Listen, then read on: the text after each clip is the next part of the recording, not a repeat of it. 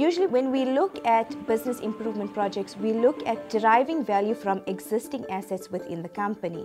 This was a very original thought that came from Chris. We're using somebody else's mothball capacity and we're taking excess tons from the Mogalakwena operation, crushing it and transporting it about 100 kilometers and then we process it here and then send the product through to Polokwane smelter.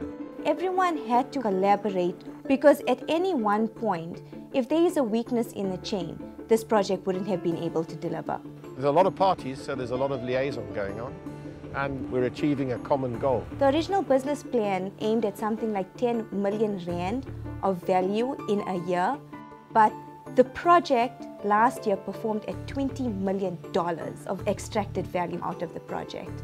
It's quite innovative to do something like this. We've got a profit-making, large-scale pilot plant and we're picking up excess material and turning it into metal and, and profit for the company. So it ticks a lot of boxes.